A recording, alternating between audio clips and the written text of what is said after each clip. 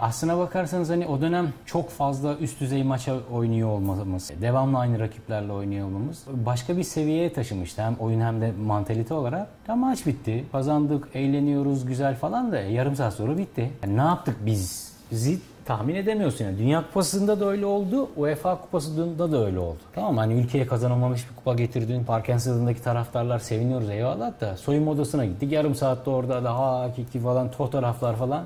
Tamam bitti. Hacı orada hakikaten çok sonraki yıllarda da anlayacağımız bir cümle kurdu. Dedi ki şu anda dedi ne yaptığınızın farkında değilsiniz dedi. Bunu dedi 5 yıl sonra anlayacaksınız dedi. Ama 17 yıl geçti hala anlıyoruz ne yaptığımızı yani.